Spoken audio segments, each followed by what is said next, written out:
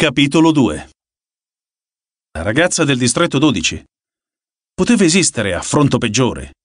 Il distretto 12. Il distretto più piccolo, il distretto barzelletta, con quei ragazzini rachitici dalle articolazioni gonfie che morivano sempre nei primi cinque minuti, e come se non bastasse, la ragazza. Non che una ragazza non potesse vincere, ma nella testa di Coriolanus gli Hunger Games erano soprattutto questione di forza bruta, e le femmine erano per natura più minute dei maschi, quindi in svantaggio. Lui non era mai stato particolarmente amato dal decano Highbottom, che scherzando chiamava fuori come un balcone Bottom con gli amici, ma non si aspettava di certo un'umiliazione pubblica del genere. Che al decano fosse arrivata voce del nomignolo, o quell'assegnazione era soltanto un riconoscimento del fatto che, nel nuovo ordine, gli Snow stavano diventando insignificanti. Sentiva il sangue bruciargli le guance mentre tentava di restare calmo. Quasi tutti gli altri studenti si erano alzati e chiacchieravano tra loro. Doveva raggiungerli, fingere che quella faccenda fosse priva di importanza, ma sembrava incapace di muoversi. Il massimo che riuscì a fare fu girare la testa a destra, verso Seianus ancora seduto accanto a lui. Aprì la bocca per congratularsi, ma si fermò di fronte alla malcelata infelicità che leggeva sul suo viso. Cosa c'è? chiese. Non sei contento? Il distretto 2, il ragazzo, il meglio della nidiata. Te ne sei dimenticato. Io faccio parte di quella nidiata, replicò Seianus con voce roca. Coriolanus metabolizzò le sue parole. Quindi dieci anni di Capitol City e della vita che offriva erano andati sprecati con Seianus. Si considerava ancora uno dei distretti. Stupidaggini sentimentali. Il ragazzo corrugò la fronte, costernato. Sono sicuro che è stato mio padre a richiederlo. Cerca sempre di farmi mettere la testa a posto. Indubbiamente, pensò Coriolanus. Le tasche gonfie e l'influenza del vecchio Strabo Plint godevano di rispetto, al contrario della sua discendenza. E per quanto in teoria le posizioni di mentore venissero assegnate in base al merito, risultava chiaro che qualche filo era stato tirato. Gli spettatori avevano ripreso posto. Un sipario si aprì in fondo al palco, rivelando uno schermo a tutta parete. La mietitura, in diretta da ogni distretto, era trasmessa in tutto il paese e procedeva dalla costa est a quella ovest. Ciò significava che il distretto 12 avrebbe dato il via alla giornata.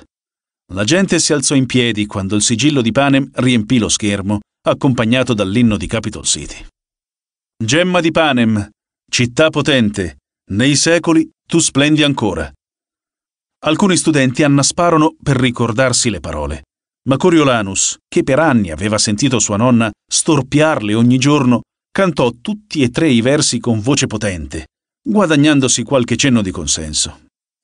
Era patetico, ma aveva bisogno di ogni goccia di approvazione possibile. Il sigillo svanì e lasciò il posto al presidente Ravensteel, i capelli striati d'argento, vestito con l'uniforme militare anteguerra, tanto per ricordare che lui controllava i distretti già molto prima dei giorni bui della ribellione. Declamò un breve passaggio dal Trattato del Tradimento, nel quale si disponevano gli Hunger Games come riparazione ai danni di guerra, giovani vite dei distretti prese in cambio delle giovani vite di Capitol City andate perdute. Il prezzo per il tradimento dei ribelli. Gli strateghi tagliarono sulla squalida piazza del distretto 12, dove un palco temporaneo, adesso fiancheggiato da pacificatori, era stato innalzato davanti al palazzo di giustizia. Il sindaco Lip, un uomo tozzo e lentigginoso, che indossava un completo disperatamente antiquato, era in piedi tra due sacchi di juta. Affondò la mano in quello di sinistra, ne estrasse una striscia di carta e la guardò a malapena.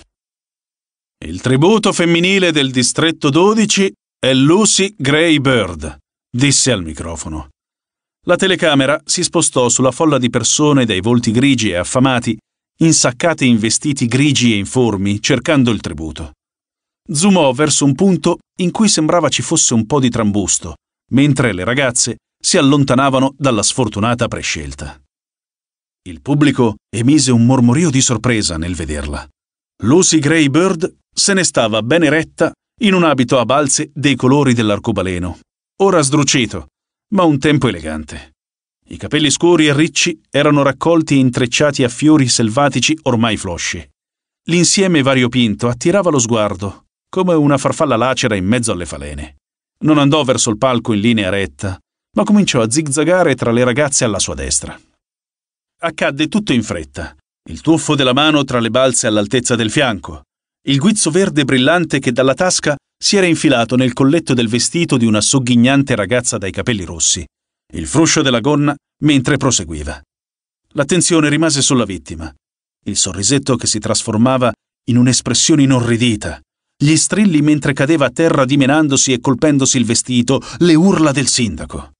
E sullo sfondo l'assalitrice continuava a zigzagare, continuava a scivolare verso il palco, senza voltarsi indietro nemmeno una volta. Heavensby Hall si animò quando la gente cominciò a dare di gomito ai vicini. Ma visto? Cosa le ha fatto scivolare nel vestito? Una lucertola. Io ho visto un serpente. L'ha uccisa. Coriolanus osservò gli spettatori e sentì una scintilla di speranza. Il suo improbabile tributo, il suo scarto, la sua offesa aveva catturato l'interesse di Capitol City. Era un bene, no? Con il suo aiuto magari quella ragazza sarebbe riuscita a conservarlo e lui avrebbe potuto tramutare il disonore in uno spettacolo decoroso. In un modo o nell'altro, i loro destini erano indissolubilmente legati. Sullo schermo, il sindaco Lip scese di corsa i gradini del palco, facendosi largo a spintoni nel gruppo delle ragazzine fino a raggiungere quella a terra. Mayfair! Mayfair! gridò. Mia figlia ha bisogno di aiuto! Intorno a lei si era aperto un varco circolare, ma i pochi, incerti tentativi di soccorrerla erano ostacolati dall'agitarsi furioso di gambe e braccia. Il sindaco irruppe nello spazio libero proprio mentre un serpentello di un verde cangiante schizzava fuori dalle pieghe del vestito e si tuffava tra la folla, suscitando urla e scatti per evitarlo. Quando il serpente si fu allontanato, Mayfair si calmò, ma la sua angoscia venne subito sostituita dall'imbarazzo. Guardò dritto in camera, accorgendosi che tutti gli abitanti di Panem la stavano osservando. Una mano tentò di raddrizzare un fiocco tra i capelli, l'altra si spostò per riaggiustare gli abiti, sporchi della polvere di carbone che copriva ogni cosa e strappati dalle sue unghie. Quando suo padre l'aiutò ad alzarsi, fu evidente che se l'era fatta addosso. L'uomo si tolse la giacca per avvolgergliela intorno alle spalle, poi la affidò a un pacificatore perché la portasse via. Si girò verso il palco e puntò uno sguardo assassino sul più recente tributo del distretto 12. Mentre osservava Lucy Greybird salire sul palco, Coriolanus avvertì una fitta di disagio. Che fosse mentalmente instabile? Aveva qualcosa di familiare e allo stesso tempo inquietante. Tutte quelle balze rosa lampone, blu elettrico e giallo brillante. Sembra un artista del circo, osservò una ragazza. Gli altri mentori borbottarono qualcosa in segno di assenso. Ecco, Coriolanus tornò con la memoria ai circhi della sua prima infanzia. Giocolieri e acrobati, pagliacci e ballerine in abiti vaporosi che piroettavano tutto intorno mentre lui si stordiva sempre più di zucchero filato. Che il suo tributo avesse scelto un abbigliamento così festoso per l'evento più cupo dell'anno dimostrava una stranezza che andava oltre un semplice errore di valutazione. Il tempo concesso per la mietitura del distretto 12 era senz'altro trascorso ma non c'era ancora un tributo maschile. Ciò nonostante, quando il sindaco Lip tornò sul palco, ignorò i sacchi con i nomi, puntò dritto alla ragazza e la colpì in pieno viso con una tale violenza da farla cadere in ginocchio. Aveva già alzato la mano per schiaffeggiarla un'altra volta quando intervennero due pacificatori, che gli afferrarono le braccia e tentarono di ricondurlo al motivo per cui era lì. Di fronte alla sua resistenza, lo trascinarono di nuovo nel palazzo di giustizia, bloccando così l'intera procedura. L'attenzione si trasferì alla ragazza sul palco. Quando la telecamera zoomò su di lei, Coriolanus non si sentì affatto rincuorato riguardo alla sanità mentale di Lucy Greybird. Non aveva idea di dove si fosse procurata il trucco, dal momento che a Capitol City stava appena tornando disponibile, ma i suoi occhi erano ombreggiati di azzurro e contornati di nero, le guance sfumate di rosa e le labbra tinte di un rosso un po' oleoso. A Capitol sarebbe stato considerato audace. Nel distretto 12 sembrava eccessivo. Era impossibile distogliere lo sguardo da lei, che se ne stava lì a passarsi la mano sulla gonna, lisciandosi ossessivamente le balze. Solo dopo averle sistemate per bene, la ragazza sollevò la stessa mano per toccarsi la guancia. Il suo labbro inferiore tremò leggermente e i suoi occhi brillarono per le lacrime che minacciavano di traboccare. Non piangere! sussurrò Coriolanus. Si trattenne. Si guardò intorno con ansia e scoprì che gli altri studenti erano conquistati. Le loro espressioni mostravano preoccupazione. Lucy Greybird aveva ottenuto la loro solidarietà, nonostante la sua stravaganza. Non avevano idea di chi fosse o del motivo per cui aveva attaccato Mayfair, ma chi non si sarebbe accorto che quella piccoletta sogghignante era perfida e che suo padre era un animale, visto che era stato capace di sbattere a terra una ragazza appena condannata a morte. Scommetto che hanno truccato il sorteggio, disse Seianus sottovoce. Non c'era il suo nome su quel foglietto.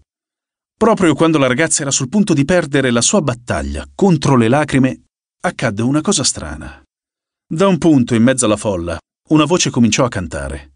Una voce giovane, che poteva appartenere a un maschio o a una femmina, ma così alta da echeggiare nella piazza silenziosa. Non puoi rubare il mio passato. La mia storia non puoi rubare.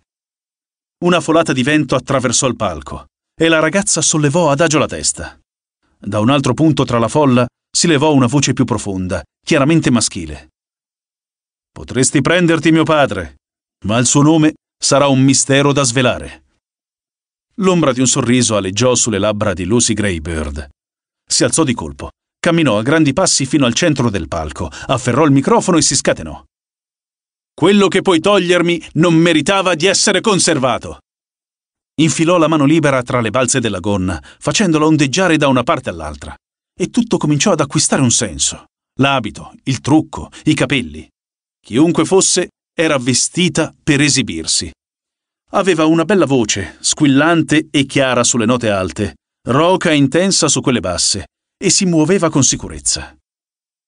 Non puoi rubare il mio fascino, il mio spirito non puoi rubare, non puoi prenderti i miei soldi, perché son solo un gran parlare. Quello che puoi togliermi non meritava di essere conservato. Cantare la trasformava, e Coriolanus non la trovava più così bizzarra. Aveva qualcosa di attraente, di seducente persino. La telecamera la divorava mentre si dirigeva sul bordo del palco e si sporgeva verso il pubblico dolce e sfrontata. Pensavi di essere un grande, pensavi di prenderti le mie mutande, Pensavi di essere tu a comandare.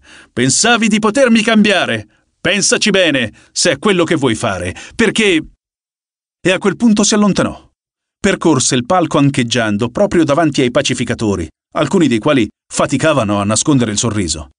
Nessuno di loro si mosse per fermarla. Non puoi rubare la mia ostinazione da mulo. I miei discorsi non puoi rubare. Però puoi baciarmi il culo e continuare a camminare. Quello che puoi togliermi non meritava di essere conservato. Le porte del palazzo di giustizia si spalancarono di schianto e i pacificatori che avevano portato via il sindaco irruppero di nuovo sul palco. La ragazza era girata verso il pubblico, ma si capiva che aveva notato il loro arrivo. Si diresse all'estremità opposta del palco per il gran finale. No, signore! Quello che puoi togliermi non merita il fango. Prenditelo, perché lo regalerei, tanto non piango. Quello che puoi togliermi non meritava di essere conservato. Riuscì a mandare un bacio prima che le fossero addosso. I miei amici mi chiamano Lucy Gray. Spero che lo farete anche voi, gridò. Uno dei pacificatori le strappò di mano il microfono. L'altro la sollevò di peso e la riportò al centro del palco. Lei salutò con la mano come se ricambiasse un chiassoso applauso, non un silenzio di tomba. Per alcuni istanti tacquero anche gli spettatori della Heavensby Hall. Coriolanus si chiese se, come lui, sperassero che la ragazza avrebbe continuato a cantare.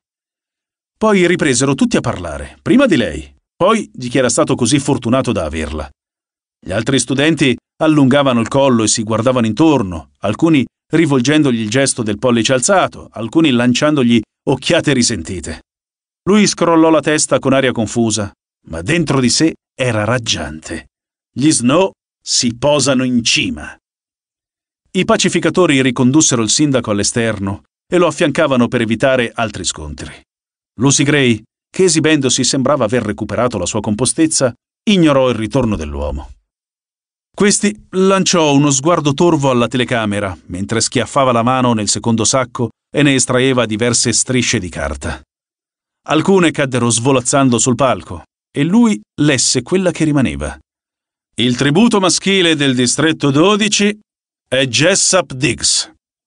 I bambini nella piazza si agitarono e fecero largo a Jessup, un ragazzo con una frangia di capelli neri appiattita sulla fronte sporgente.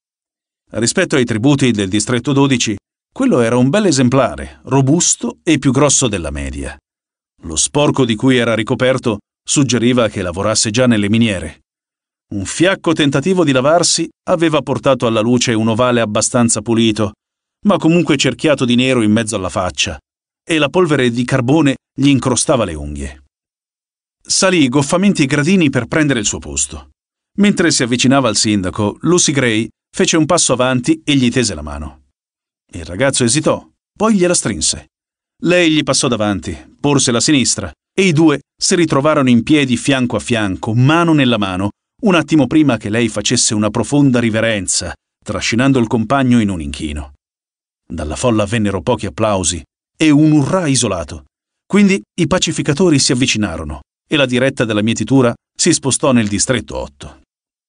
Coriolanus finse di essere molto preso dallo spettacolo, mentre 8, 6 e 11 chiamavano i loro tributi, ma il suo cervello ragionava frenetico sulle conseguenze dell'essersi aggiudicato Lucy Greybird.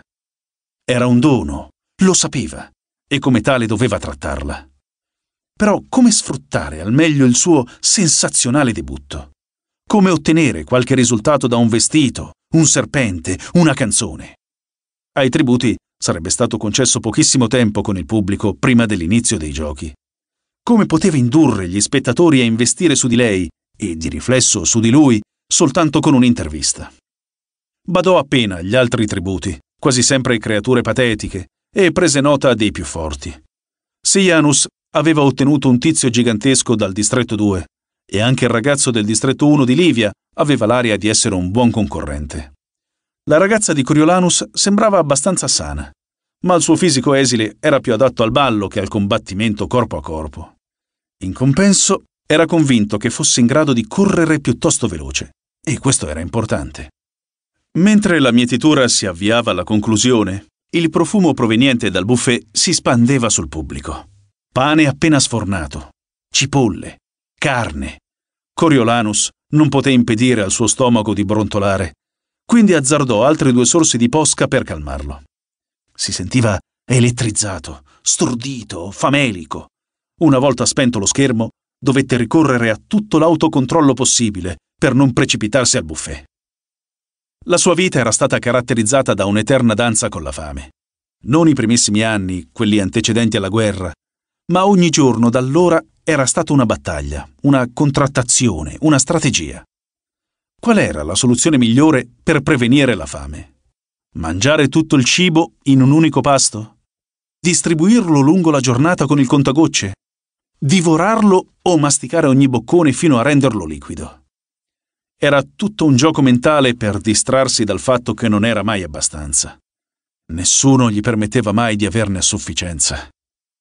Durante la guerra i ribelli avevano occupato i distretti che provvedevano alla produzione alimentare traendo a esempio le stesse strategie di Capitol City, avevano tentato di prenderla per fame, servendosi del cibo, o della sua assenza, come di un'arma. Ora i ruoli si erano invertiti un'altra volta, con Capitol City che controllava gli approvvigionamenti e si era spinta ancora più in là, rigirando il coltello nel cuore dei distretti attraverso gli Hunger Games. Nella violenza dei giochi c'era il tormento silenzioso che tutti a Panem avevano vissuto il bisogno disperato di avere da mangiare a sufficienza per arrivare all'alba successiva. Quel bisogno aveva trasformato in mostri anche i più eminenti cittadini di Capitol. Chi cadeva all'improvviso per le strade, morto di stenti, diventava parte di una raccapricciante catena alimentare. Una sera d'inverno, Coriolanus e Tigris erano usciti di nascosto dall'appartamento per cercare tra i rifiuti alcune cassette di legno che avevano notato in un vicolo. Lungo il cammino superarono tre cadaveri e ne riconobbero uno, quello di una giovane cameriera tanto garbata che serviva il tè ai raduni pomeridiani dei Crane. Cominciò a scendere una neve pesante e bagnata, quindi pensarono che le strade sarebbero state deserte, ma sulla via del ritorno una sagoma rannicchiata li fece scappare a nascondersi dietro una siepe. Da lì videro il loro vicino Nero Price, un colosso dell'industria ferroviaria, tagliare una gamba della cameriera, segandola con un coltello spaventoso fino a staccarla. L'uomo avvolse l'arto nella gonna che strappò dalla vita della ragazza e fuggì in una strada laterale che portava sul retro della sua residenza di città. I due cugini non ne parlarono mai, nemmeno tra loro, ma ciò che videro restò impresso a fuoco nella memoria di Coriolanus. La ferocia che deformava il volto di Price, il calzino bianco e la sciupata scarpa nera all'estremità della gamba amputata. L'orrore assoluto nel rendersi conto che a quel punto anche lui poteva essere considerato commestibile. Coriolanus attribuiva la sua sopravvivenza sia fisica sia morale alla lungimiranza della signora nonna all'inizio della guerra. I suoi genitori erano morti, così come quelli di Tigris, Perciò i due bambini erano andati a vivere insieme alla donna. I ribelli continuavano ad avanzare verso Capitol City, a rilento, ma con regolarità, anche se l'arroganza della città impediva che questo dato di fatto venisse riconosciuto pubblicamente. La carenza di cibo esigeva che persino i più ricchi cercassero determinate provviste al mercato nero. Fu così che in un tardo pomeriggio di ottobre Coriolanus si ritrovò davanti alla porta posteriore di un locale notturno un tempo alla moda, stringendo il manico di un carretto rosso da una parte e dall'altra la mano guantata della signora nonna. Il freddo pungente che si sentiva nell'aria era già un presagio minaccioso dell'inverno e il cielo era coperto da scure nuvole grigie. Erano andati a trovare Pluribus Bell, un vecchio con gli occhiali dalle lenti color limone e una parrucca bianca incipriata che gli arrivava alla vita. Lui e il suo socio Cyrus, un musicista, erano i proprietari del locale ormai chiuso e sbarcavano il lunario trafficando merci nel vicolo sul retro. Gli Snow erano lì per una cassa di latte in scatola, dato che quello fresco era scomparso settimane prima, ma Pluribus disse che l'aveva finito. Appena arrivate erano invece delle casse di fagioli secchi, impilate l'una sull'altra sul palcoscenico a specchi dietro di lui. Si manterranno per anni, garantì alla signora nonna. Ho in mente di metterne da parte una ventina per mio uso personale. La nonna di Coriolanus rise. Che cosa disgustosa. No, mia cara. Disgustoso è quello che succede quando si è senza, replicò Pluribus. Coriolanus non approfondì, ma la signora nonna smise di ridere. Gli scoccò un'occhiata e per un attimo strinse la mano del nipote nella sua. Parve un gesto involontario, un crampo quasi. Poi guardò le casse e sembrò riflettere su qualcosa. Eh, quante puoi darmene? chiese al proprietario del locale. Coriolanus portò via una cassa sul suo carretto, mentre le altre 29 giunsero nel cuore della notte, dal momento che l'accaparramento era tecnicamente illegale. Cyrus e un suo amico trasportarono le casse su per le scale e le accatastarono al centro del salotto sontuosamente arredato.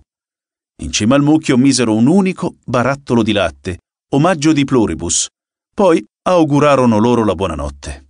Coriolanus e Tigris aiutarono la signora nonna a nascondere i fagioli negli armadi, nei guardaroba eleganti, persino nella vecchia pendola. Chi mangerà tutta questa roba? chiese lui. A quell'epoca nella sua vita c'erano ancora la pancetta e il pollo e di tanto in tanto un arrosto. Il latte era una cosa saltuaria, ma il formaggio abbondava e a cena si poteva sempre contare su qualche tipo di dolce, anche se solo pane e marmellata. Noi ne mangeremo una parte e forse il resto potremo barattarlo, rispose la signora nonna. Sarà il nostro segreto. A me non piacciono i fagioli, disse Coriolanus, imbronciato. O almeno credo. Beh, Chiederemo al cuoco di trovare una buona ricetta, replicò la signora nonna. Ma il cuoco era stato arruolato per la guerra e poi era morto d'influenza. Si scoprì allora che la signora nonna non sapeva nemmeno accendere un fornello, figurarsi seguire una ricetta. Toccò quindi a Tigris, che aveva otto anni, far bollire i fagioli per lo stufato bello denso, poi per la zuppa e infine per la minestra acquosa che li avrebbe sostentati per tutta la guerra. Fagioli. Cavolo la razione di pane. Sopravvissero così, giorno dopo giorno, per anni. La fame gli aveva sicuramente bloccato la crescita. Sarebbe stato sicuramente più alto e con le spalle più larghe se avesse avuto di più da mangiare. Ma il suo cervello si era sviluppato a dovere, o almeno lo sperava. Fagioli, cavolo, pane nero. Finì per odiare quella roba, ma quella roba li tenne in vita, senza vergogna e senza mangiare i cadaveri dei propri simili nelle strade. Coriolanus deglutì l'acquolina che gli inondava la bocca mentre allungava la mano per prendere il piatto dal bordo dorato con il sigillo dell'Accademia in rilievo. Anche nei giorni di vacche più magre, a Capitol City, non erano mai mancate stoviglie eleganti. E a casa, lui stesso aveva mangiato più di una foglia di cavolo in porcellane finissime. Scelse un tovagliolo di lino, una forchetta, un coltello. Quando sollevò il coperchio del primo scaldavivande d'argento pregiato, il vapore gli bagnò le labbra. Crema di cipolle. Ne prese una cucchiaiata frugale tentando di non sbavare. Patate lesse, zucchine, prosciutto al forno, panini caldi e un pezzetto di burro. Due pezzetti, ripensandoci. Un piatto pieno, ma non da ingordo, non per un adolescente. Lo posò sul tavolo accanto a Clemenzia e andò a prendere il dolce da un carrello, perché l'anno prima era rimasto senza e si era perso del tutto la tapioca. Il suo cuore perse un battito quando vide fette e fette di torta di mele, ognuna decorata da una bandierina di carta con il sigillo di pane. Torta! Da quanto tempo non ne mangiava un po'? Stava cercando di arrivare a uno spicchio di media grandezza quando qualcuno gli spinse sotto il naso un piatto che ne conteneva una porzione enorme. Oh, prendi il pezzo grosso. Un ragazzo che cresce come te può farcela. Gli occhi del decano Highbottom erano umidi ma avevano perso lo sguardo vitreo della mattina. Anzi, erano puntati su di lui con un'acutezza inaspettata. Coriolanus accettò il piatto con un gran sorriso, che sperò apparisse fanciullesco e amichevole. Grazie, signore. Riesco sempre a trovare spazio per il dolce. Sì, non è mai difficile abituarsi alle cose piacevoli, disse il decano. Nessuno lo sa meglio di me. Immagino di no, signore. Ma le sue parole suonarono male. Lui voleva dichiararsi d'accordo con la parte sulle cose piacevoli, e invece il suo sembrava un commento pungente sull'indole del decano. Tu immagini di no. Il decano Highbottom socchiuse gli occhi continuando a fissarlo. Allora, Coriolanus, quali sono i tuoi programmi dopo i giochi? Spero di andare all'università, rispose lui. Che strana domanda. Il suo curriculum accademico lo rendeva evidente senza alcun dubbio. Sì, ho visto il tuo nome tra i candidati ai premi, disse il decano. E se non dovessero assegnartene uno? Coriolanus balbettò. Eh, beh, in quel caso eh, pagheremo la retta, naturalmente. Ah, davvero? Il decano Highbottom si mise a ridere. Ma guardati, con quella camicia di ripiego e quelle scarpe troppo strette che cerchi di sopravvivere, che ti pavoneggi per Capitol City quando dubito che agli Snow sia rimasto un vaso in cui pisciare. Sarebbe un'impresa anche con un premio, e tu non ne hai ancora uno, vero? Allora cosa ne sarebbe di te, mi chiedo? Cosa? Coriolanus non poté fare a meno di guardarsi intorno per capire chi altri avesse udito quelle parole orribili, ma erano quasi tutti immersi nelle tipiche chiacchiere da tavola. Non preoccuparti, non lo sa nessuno. Beh, quasi nessuno. Goditi la torta, ragazzo. Il decano Highbottom si allontanò senza disturbarsi a prendere una fetta di dolce per sé. Coriolanus, che avrebbe desiderato solo lasciar cadere il piatto e correre verso l'uscita, tornò a posare con cura l'enorme porzione sul carrello. Il soprannome. L'unica possibilità era che fosse arrivato alle orecchie del decano Highbottom. Era farina del suo sacco, ed era stato stupido da parte sua. Nonostante tutto, il decano era ancora troppo potente per essere ridicolizzato in pubblico. Ma era davvero così terribile? Ogni docente aveva almeno un nomignolo e molti erano decisamente meno lusinghieri. E poi, fuori come un balcone bottom, non si sforzava nemmeno di nascondere le sue abitudini. Sembrava quasi invitasse la gente a deriderlo.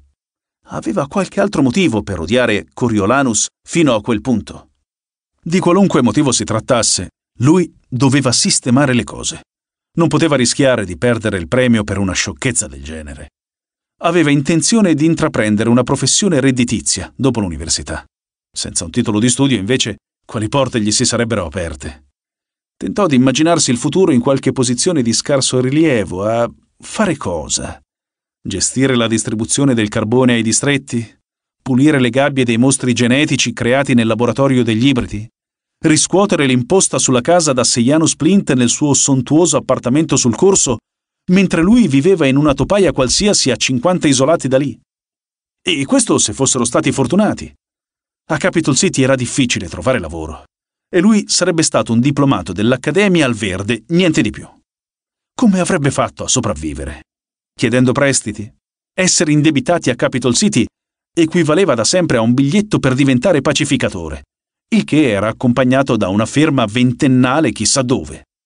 Lo avrebbero spedito lontano, in qualche orrendo distretto isolato i cui abitanti erano poco più che animali.